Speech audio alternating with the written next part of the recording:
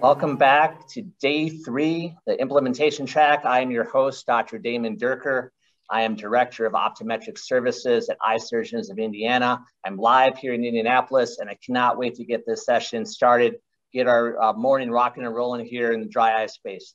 So I'd like to introduce our next session, which is going to be Ask Us Anything. Dry eye disease experts answer your burning questions. And I'm pleased to introduce our esteemed faculty for this, um, not really so much a presentation, but a conversation. I have Dr. Cynthia Matossian and Dr. Leslie O'Dell. Cynthia, Leslie, welcome to Eyes on Dry Eye. Excited to have you. You guys excited to answer some questions about uh, dry eye disease? Can't wait. Yeah, thanks so much, Damon, for having us. Uh, briefly, Cynthia, to start, you know, tell us a little bit about your uh, practice and why dry eye is such a focus for you? I'm Cynthia Matossian. We have offices in two states, Eastern Pennsylvania and New Jersey, and we go back and forth across the Delaware River, actually not far from where Washington crossed the Delaware on Christmas Day to attack the British. It's a historic area, and my area of specialty within ophthalmology is refractive cataract surgery. In order to get the outcomes that my patients and I were kind of counting on, I backed into the ocular surface and dry eye space because I realized the importance of having that stable tear film, which Leslie and I will talk about shortly, in order to get the outcomes that we had planned on. So, as a result, I have become an expert in dry eye ocular surface and more than happy to share some of those pearls with all of you. So, keep your questions coming. Leslie? Well, I actually started my um, passion and, and desire to really learn about dry eye in a refractive practice as well, um, because I was doing all of the post operative care for a surgeon in um, York County and learned a lot about the 2020 unhappy patient after cataract surgery.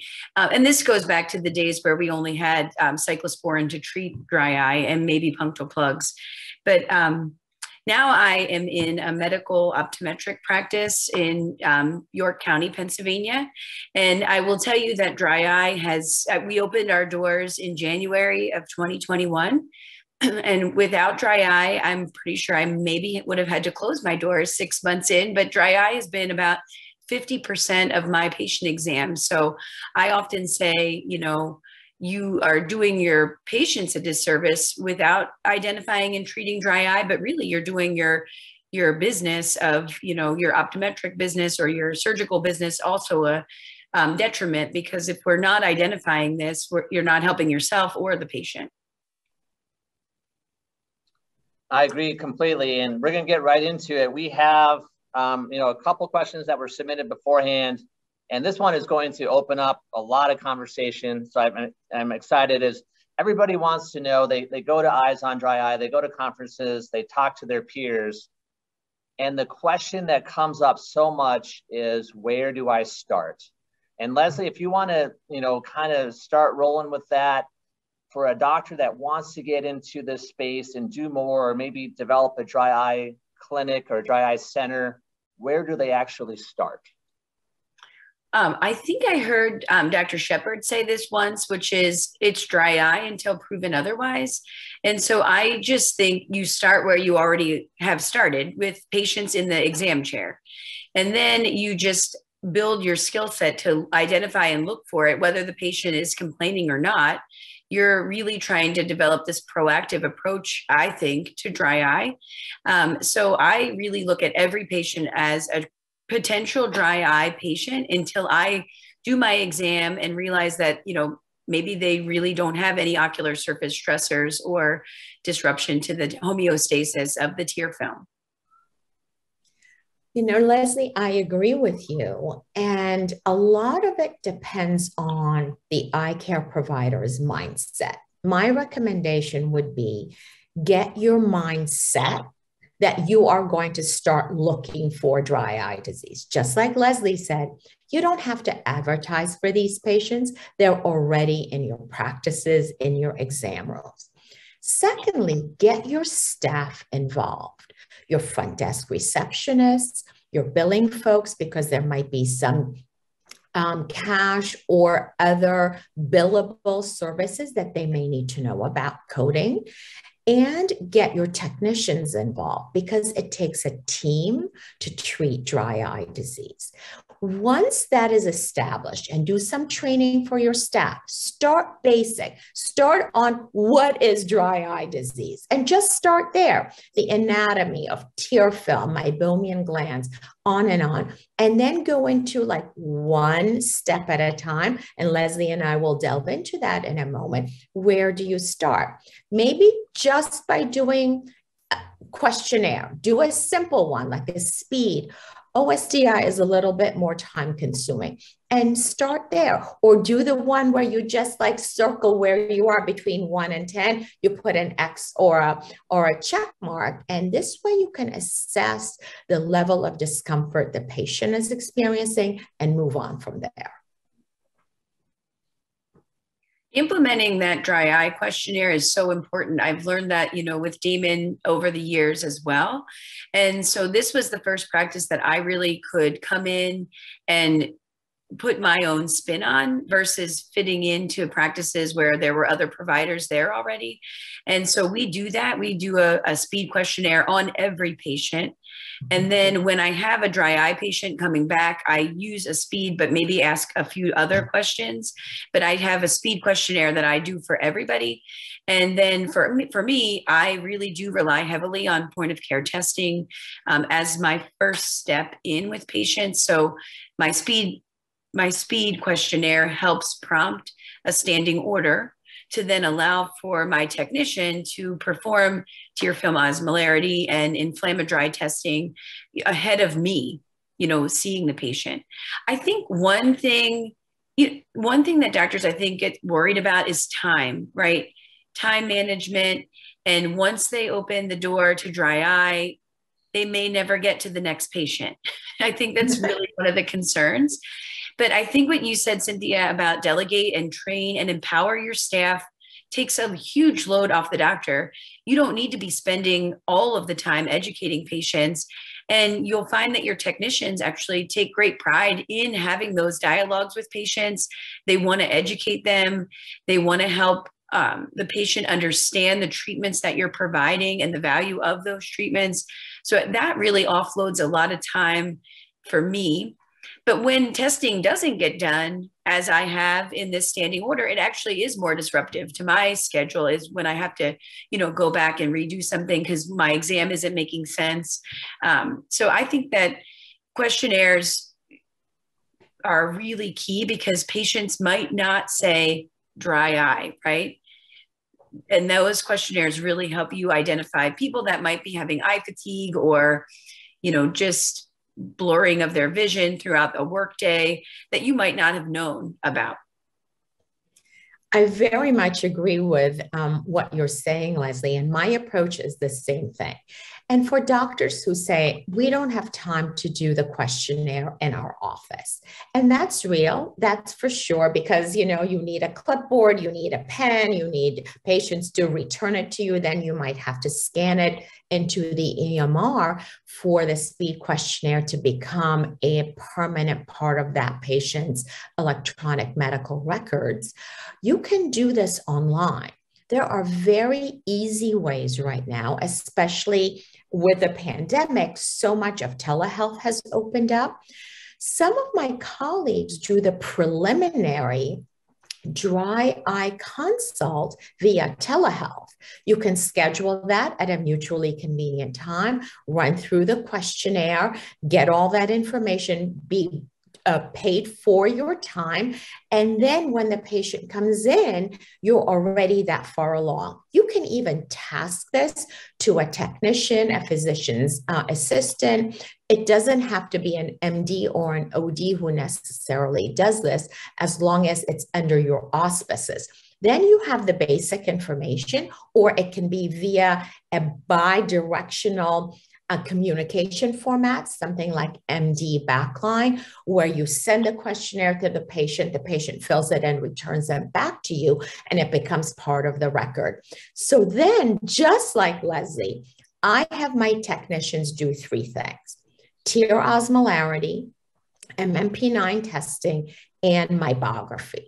To me, those three pieces are key to get started in dry eye. I say that's where you should start in addition to the questionnaire, because now you have um, tear film homeostasis information via tear osmolarity. You have inflammation information via the MMP9, and you have architectural information about the meibomian glands via the meibography. And with those three components, you will be able to educate your patient as to what they have and initiate a customized treatment.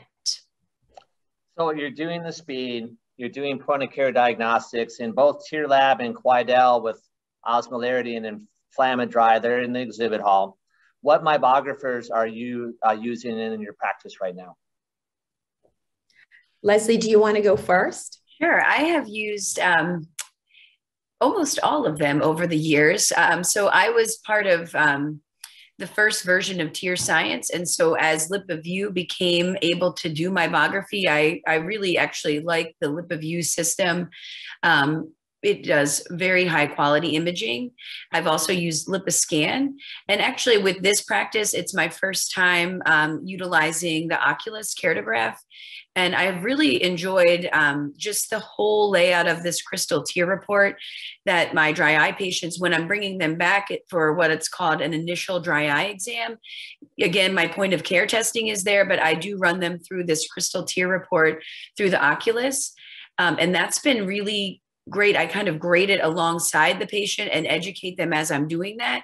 And then it will even do a printout that you can give to a referring doctor, your patient. And it, it's really nice.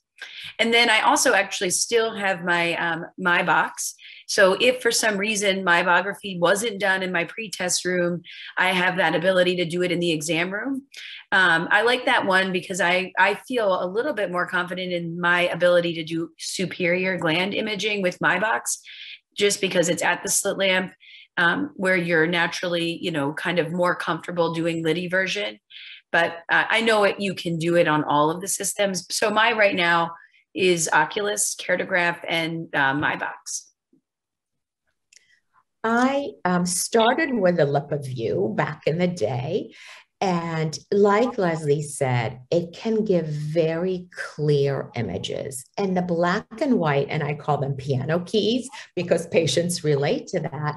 By looking at these images, they, even if they're not, um, have even if they have no science background at all, most people can look at a normal versus an abnormal uh, image and immediately detect that their glands have shrunken, dropped out, are architecturally abnormal. So LipiView is my go-to. We also have a LipiScan in one of our satellite offices. But recently there's a new entree in the market from iMed. They have a desktop unit that can do eight different dry eye tests, all in a matter of eight to 10 minutes. And like Leslie said, with a uh, Oculus.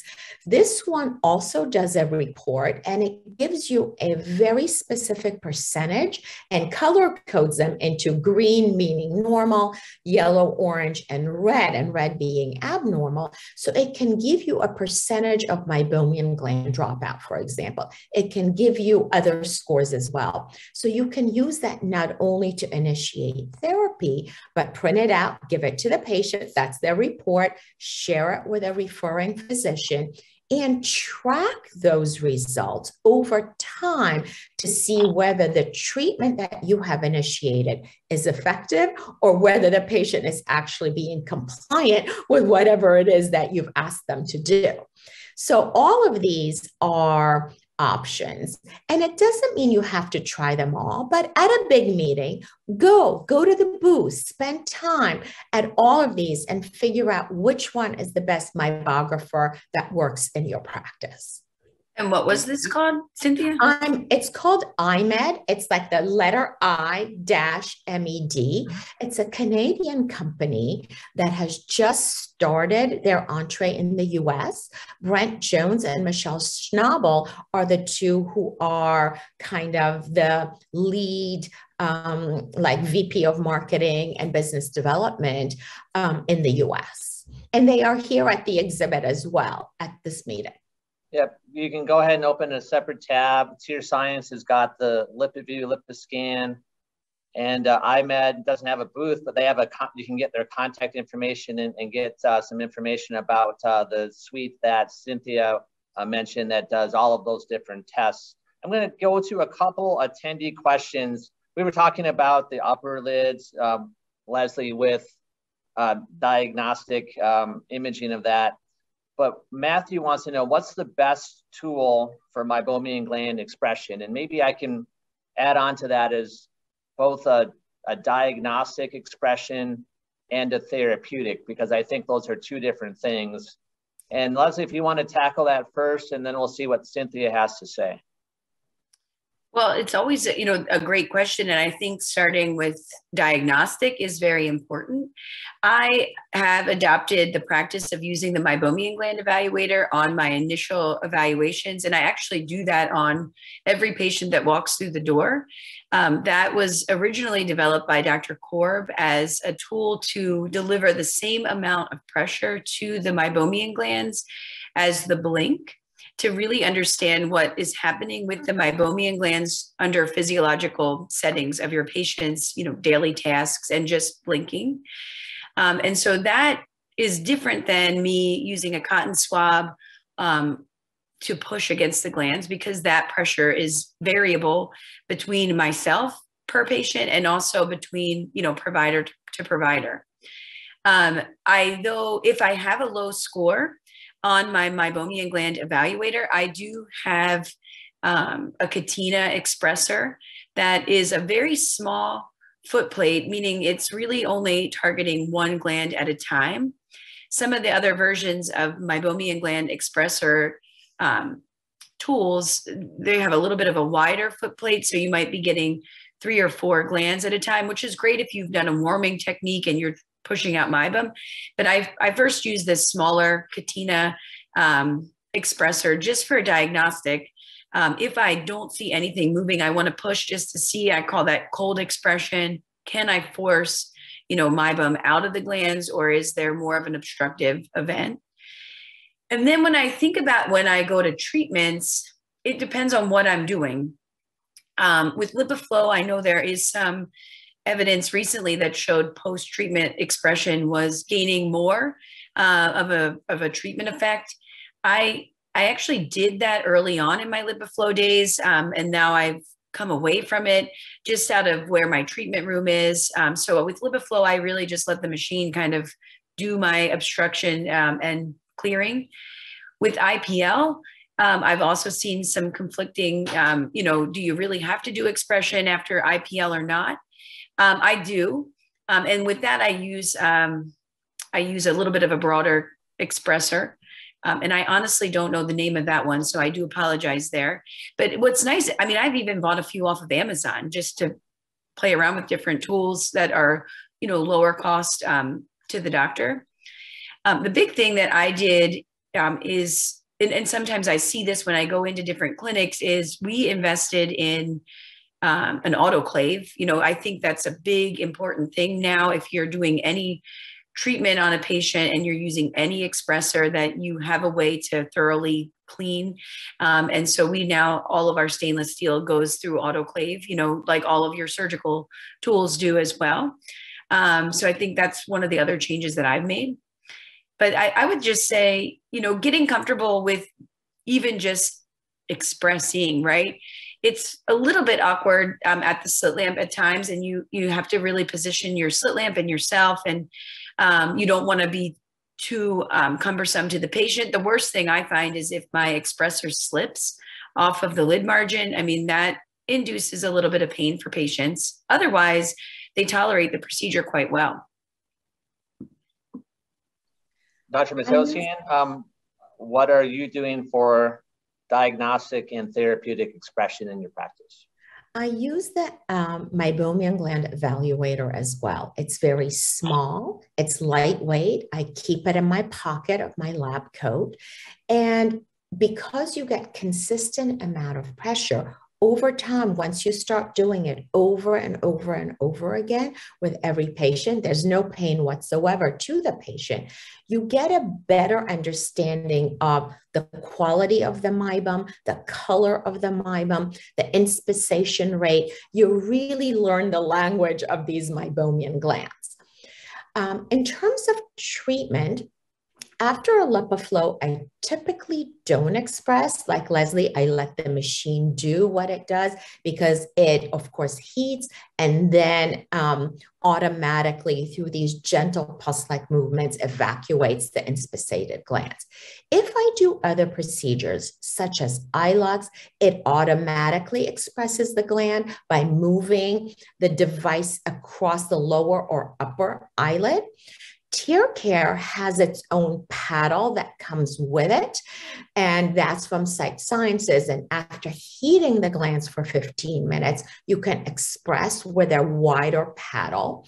I have found that it's less dis- there's less discomfort for the patient once the glands have been heated to express them. I don't try to cold express glands because to me, you really have to push hard and it's not worth the amount of discomfort I'm kind of um, providing to my patient. It's so much better to express after heating if it's done for ther- therapeutic reasons. And um, with other devices, let's say an IPL, in the past, I used to manually express. With the newer IPL models, I have found that you don't need to. I have a Lumenis myself, and I stopped um, expressing after the procedure. But some doctors do. And I think sometimes that jump starts the symptomatic relief for the patients. Is there any tool that you feel is better than the others for expressing the upper lid in particular? That was a question from Stanley.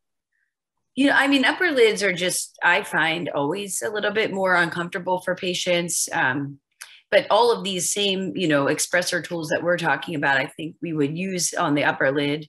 It's just a little bit, a little bit more uncomfortable. Um, for the patient. And I, I think that we like to do expression just for morbid curiosity sometimes. You know, in my IPL patients, I'm doing it um, after some of the sessions uh, uh, because I just want, I'm curious to see where I am in my treatment. But I know with science tells me I don't have to do it. But um, talk about adding time to your day. Maybe it's something I should stop doing. uh, but I think Sometimes, it's curiosity. Yes. And sometimes for the upper lid, if it's hard to get a stainless steel spatula up under the lid, what I do is I take a sterile cotton tip applicator, I soak the cotton um, part with topical anesthetic drops. I put a few drops of anesthetic in the eye. Then I place the cotton swab under the upper lid and use my thumb to express across the upper lid. I find that is more forgiving than a metal spatula across the upper lid. Whereas the lower lid, I more comfortably use a metal spatula. So not surprising now, we've got just the questions rolling in. And you know, one I'll answer right away easily. is my Meibomian gland evaluator, which you both mentioned, the manufacturer of that is TearScience, uh, Johnson & Johnson. You can find them in the exhibit hall. Uh, we got your answer on this. Uh, at least a partial answer, Dr. Matossian. but Ariel wants to know if you are just starting out and you don't have a thermal pulsation device, do you recommend cold expression to help treat or is cool expression only for diagnostics? Leslie, you want to take that one and then anything else you want to add, uh, Cynthia, you can do so. Well, when I mentioned the cold expression, it was just as a diagnostic. Um, and it is uncomfortable. You know, obviously, you're not warming the meibum. You have to put more force there to release anything. And I only do that if my, my meibomian gland evaluating score is zero, no glands functioning. I just am wanting to make sure, you, you know, sometimes I've had patients that have been on Accutane therapy that I I physically can push really hard and nothing is coming out. They might be a patient that I want to pass off to do a probing event, you know, a probing treatment prior to um, an in-office treatment. Very rare that that is the case in, in my practice, but um, you definitely need to be heating the meibum. So I think there's ways that you can do that without having a device, but you know, I did those when there wasn't devices available. So prior to LipiFlow, we would use heat masks that were available at the time. Um, what I was doing at that time in 2011 was Tranquileyes um, XL masks by Eye Eco. I would warm up the meibum using this heat mask that could provide heat for 15 to 20 minutes, and then I would um, you know, push on the lid. And, and gosh, I don't even think there was really a device available for pushing. So I probably was rolling a cotton tip on the outside of the eyelid at that time. Um, but, you know, we do have heat masks that you might be able to modify a treatment, but I think the cost of entry now is, you know, really worth your practice to invest in technology. I know TearCare has made it very easy to get an expression device in your practice. I know iLux has also done that. You know, really, I think investing in a technology is is essential if you're, you know, treating um, meibomian glands. And even price point for something like a LipiFlow compared to 10 years ago is I mean, absolutely. down quite a bit. So I think one of the takeaways from a lot of our sessions is you got to find something there to express the glands if you really want to take dry eye seriously in the practice. Any other comments on that, Dr. Matossian? Um, I believe that you have to heat before you do um, therapeutic expression. Otherwise, the amount of force that you may have to put on the glands, of course, depending on the con- context and the texture of the meibum, may be too much, and you could cause a crush injury of the meibomian glands. So, heat first. If you don't have anything, do a heated mask. I used to use the heated Bruder mask, actually. We had a dedicated microwave for that. We'd heat it for 20 seconds, put it on the patient's eye, and then the patient would purchase that mask um, because we weren't reusing the same mask for every patient. And then I would do the manual expression after the heating. But now, with all of these different options and modalities that we've talked about, the entry into the market is much more reasonable financially. And all of these companies want to work with you um, to provide these treatment opportunities for your patients. Great, uh, good stuff there. Um, lots of questions. I'm just going to go straight through them. You know, uh, is tear breakup time and tests to identify quality of tears still important in the diagnosis of dry eye disease? I still think that it's very important. I, I feel like tear breakup time is one of my first clues to loss of homeostasis of the tear film. Uh, you know, and I am using now technology that allows for non-invasive tear breakup time, but I still do rely heavily on my fluorescein breakup time. I use it too because fluorescein is already on the ocular surface. It doesn't take another device, another piece of equipment to measure it. Of course, it is somewhat subjective because you're doing the counting. With a device like the iMed device, it quantifies and objectifies the non-invasive tear breakup time. And once you diagnose tear film instability, or tear film dysregulation. We have products now, something like Tyrvaya, that we can recommend by one puff in each nostril, BID, to help regulate the kind of stressed tear film. Um, Leslie, have you had an opportunity to use this product yet for your patients? Yes, um, you know, I'm always excited to have new medications and new treatment, and usually um, we have kind of a waiting list of patients ready to try something new. So um, what I don't have is time, you know, time with patients, but none of us do yet. So I think that I started writing the scripts in December, um, and you know, I don't yet have three months of patients returning. Uh, I did do a lot of one month follow ups on these patients just to kind of gauge how things were going. And initial response from patients has been overwhelmingly positive that they are not putting another eye drop into their eye.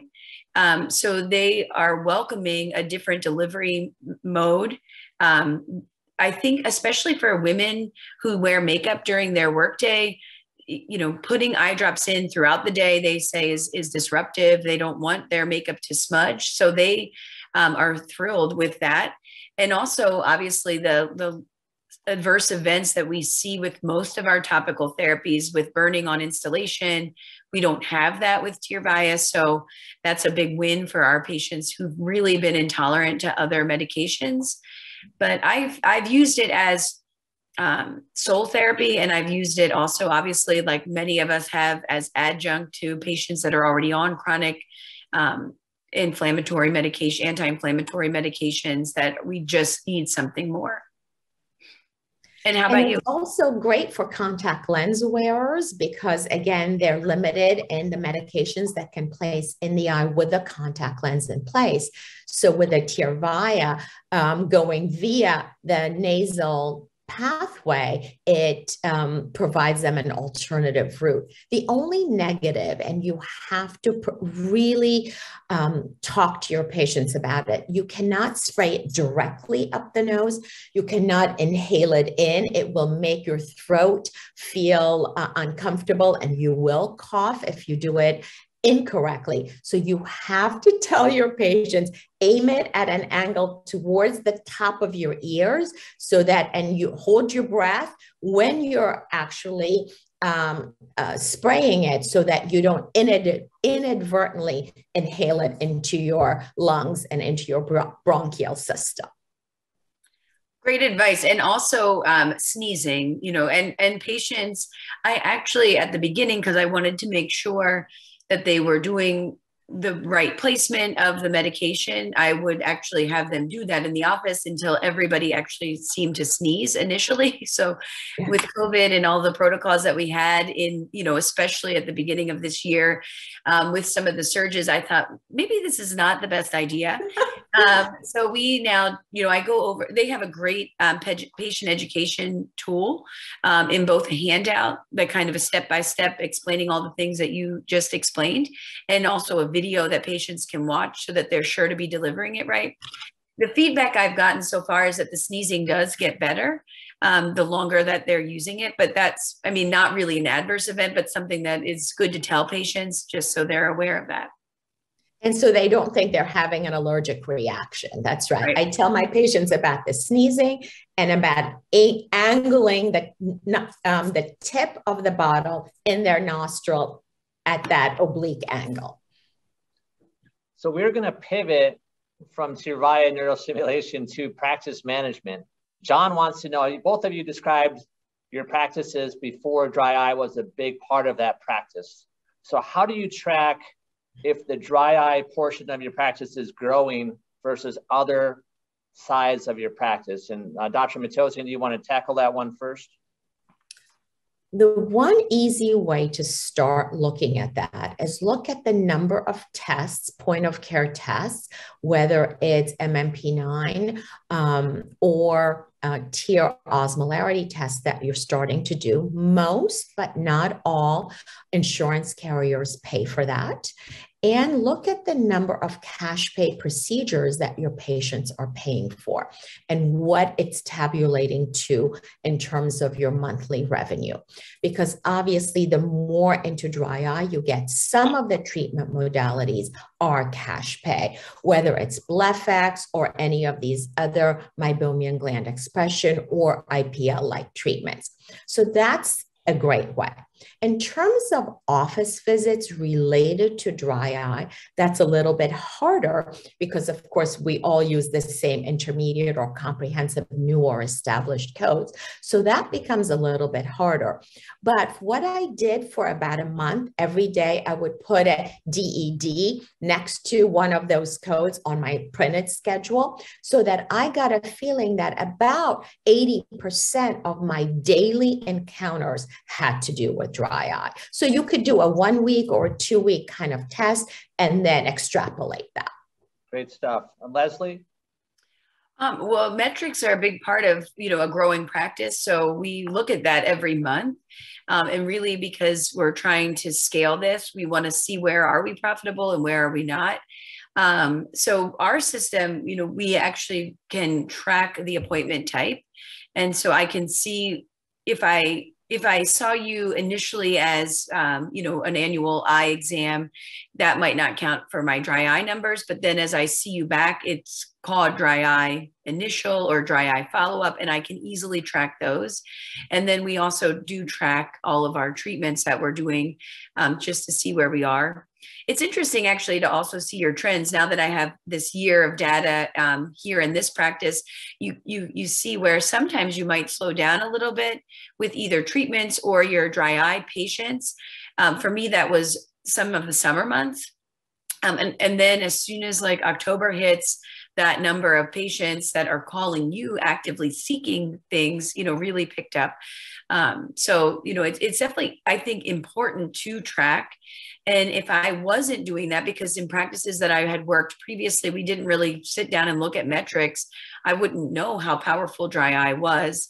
Um, and now it makes me think about it a whole lot differently to my peers is again, you can't really afford to not pay attention to it. Um, not only is your patient slowly going to become more symptomatic over years, and then you become this person that, you know, why didn't I know about it sooner? I hear that when I get patients in my door um, when they have, you know, severe atrophy of glands. Why has no one told me this? And you don't want to be in that situation either. If you if you're going to partner with a dry eye specialist, you know, like Cynthia or myself, you, know, I will tell you because we do get a lot of referred patients from other optometrists and even ophthalmologists in our area your patients thank you. Um, they thank you for the referral. They never think, why didn't you have X, Y, or Z? I hear that all the time. I'm so grateful that my doctor told me about you. And they don't stay with me for other things. They, you know, return to their primary care provider um, for eye care. And, and they just really feel like, wow, I'm so glad they knew that you were this resource in our community. So, you know, if, and, and I refer, I'm, I'm fortunate enough to be close enough to um, Wilmer Eye. So I share patients. Um, if I do need my meibomian gland probing, I send patients out the door, you know, for some of my ophthalmology colleagues in, in the dry eye space. So I think it's important just to build those relationships as well. Uh, Kimberly wants to know what is your preferred omega-3 supplement? Cynthia, do you want to take that one? And I'm so glad you asked that because actually I was going to mention that one other way to augment and monitor how well you're doing in the dry eye space within your practice is also make products available for patients to purchase as they are leaving the practice, you know, um, after the visit. And these are products like oral omega 3 supplements, heated Brüder mask, you know, maybe a preferred artificial tear drop or an ointment, things that you know your patients are going to need on a regular basis.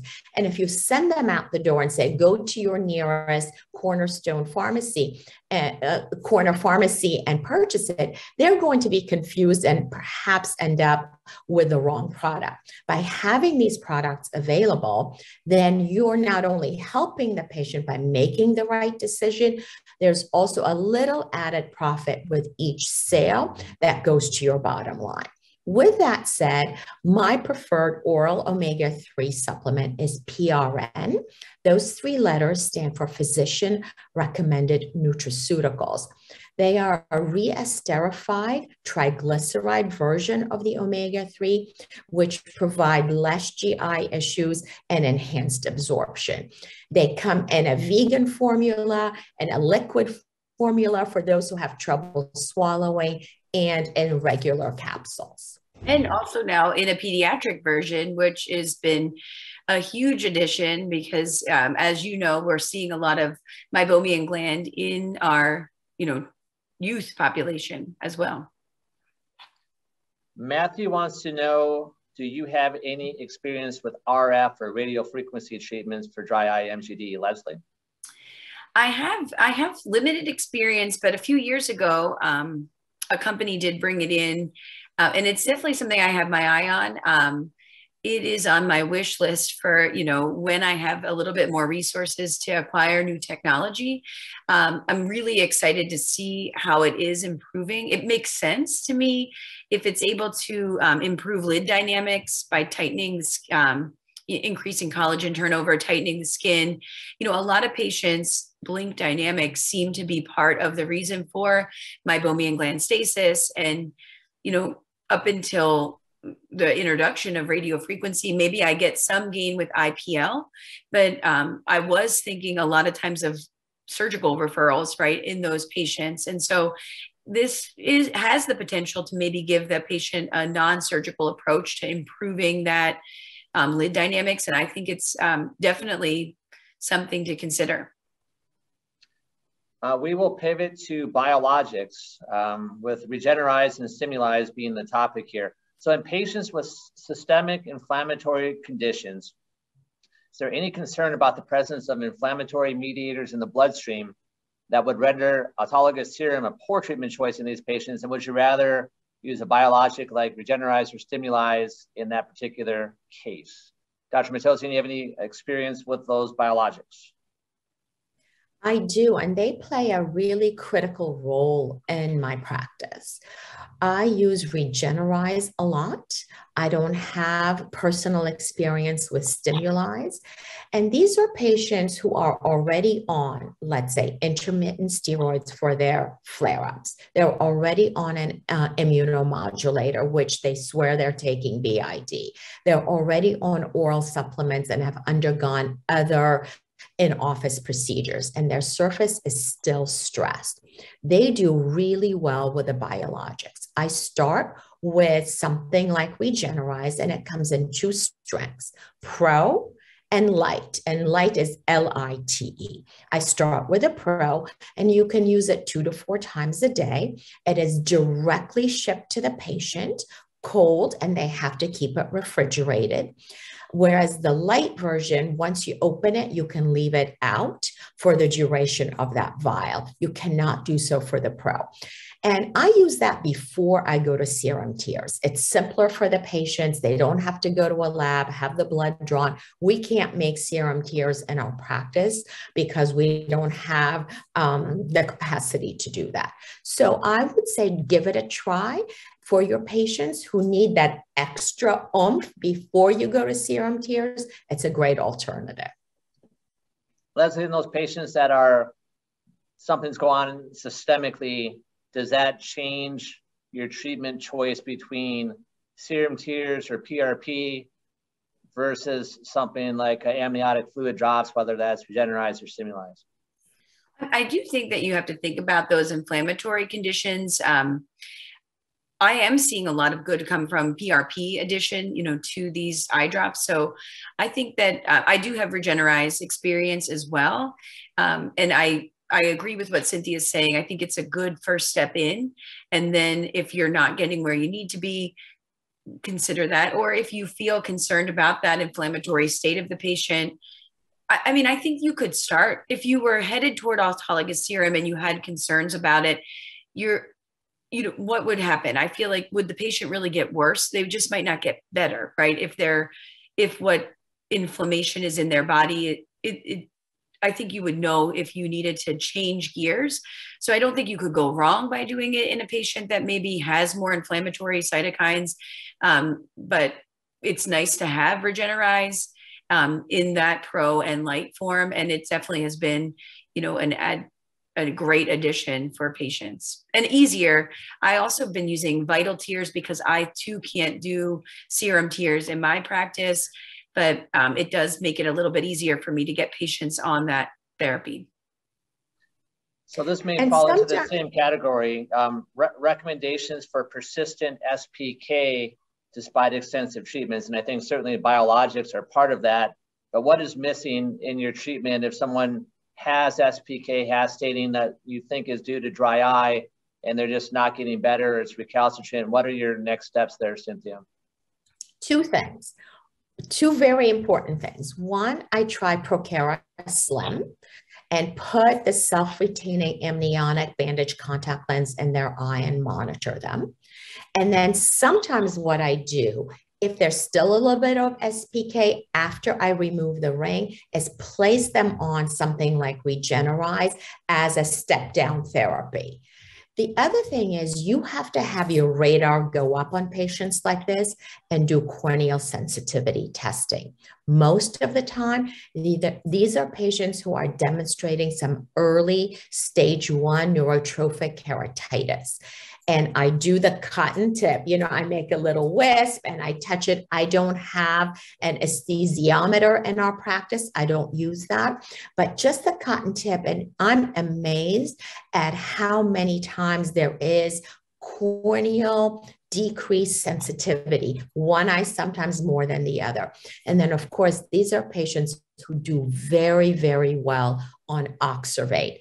It's a six times a day, eight week course. You really have to prepare your patients. There is some paperwork that has to be done, but boy, do they really benefit from this nerve growth regenerating product.